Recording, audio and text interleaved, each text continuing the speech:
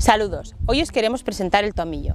Esta planta originaria de nuestra tierra y nuestro clima es un excelente desinfectante. Tomada en infusión sola, acompañada de otras plantas o de zumo de limón, estimula el sistema inmunitario y nos ayuda en enfermedades infecciosas del sistema digestivo, respiratorio o genitourinario. También tonifica la digestión y quita los gases. Es eficaz contra gusanos y cándidas, es diurético y nos ayuda a sudar. Estimula las facultades intelectuales y es un buen tónico nervioso que nos ayudará contra la ansiedad y el agotamiento. Josenea del Campo a la Taza.